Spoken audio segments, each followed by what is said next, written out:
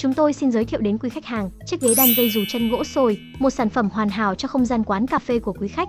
Và sau đây là toàn bộ thông tin và chi tiết về chiếc ghế đan dây dù chân gỗ sồi. Đầu tiên là dây dù của ghế. Dây dù được sử dụng để tạo ra phần ngồi và lưng ghế, mang lại sự thoải mái và êm ái cho người sử dụng. Chất lượng dây theo tiêu chuẩn xuất khẩu giúp ghế chịu được ánh nắng mặt trời và thời tiết khắc nghiệt, đảm bảo sự bền bỉ và độ bền cao của sản phẩm. Khung ghế rất chắc chắn, được làm từ các loại sắt cao cấp. Đây là điểm mạnh của sản phẩm, giúp ghế có khả năng chịu lực tốt và bền bỉ theo thời gian. Thứ hai là nệm ngồi của ghế, được làm từ simili cao cấp, nệm có tính đàn hồi cao, giúp người ngồi cảm thấy thoải mái và êm ái.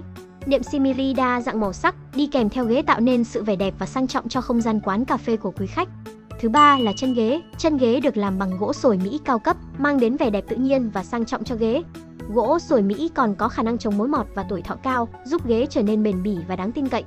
Cuối cùng không chỉ về tính thẩm mỹ, ghế cà phê đan dây dù chân gỗ rồi còn mang lại sự thoải mái và tiện ích cho khách hàng.